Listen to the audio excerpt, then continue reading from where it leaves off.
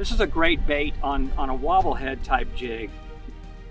I got a VMC jig here. This is an Ike approved wobblehead jig made by VMC. And all that means is that the, the hook just freely swings on the head of the jig.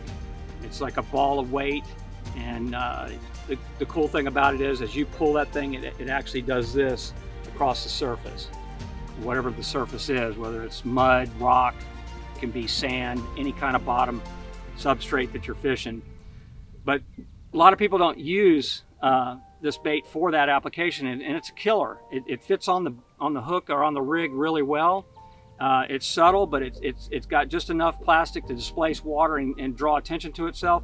And when that bait stops, those, those claws float up. And with the salt impregnation that comes with these baits and, and Gary's secret formula, all you got to do is get it in his mouth and he's going to eat it. Another thing I like to do is fish it on a Ned rig. A lot of people would never consider this a good Ned rig, Ned rig bait, but I can tell you I catch a lot of smallmouth and largemouth fishing this thing on a Ned rig and it's it's really user friendly it's easy to do you know you just cast it out there and reel it in. And it just looks like a crawdad scurrying on the bottom. That's the beauty of, of a Ned rig is the bait ideally is in contact with the bottom the whole time. And if it's any kind of softer bottom or even if it's uh, you know maybe pebbles this thing is going to create some disturbance as it goes across the bottom, just like a real crawdad would.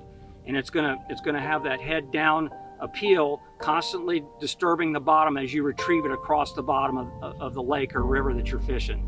So that's another way. So you got the wobblehead jig and you've got the Ned rig. And then the last application I want to share with you is it's a, an excellent jig trailer on a regular flipping or casting jig you don't need a lot of action. Jigs display so much water on their own. You just put this on there and it makes a nice clean trailer just like that. So that gives you some options to fish the Fat Baby Craw.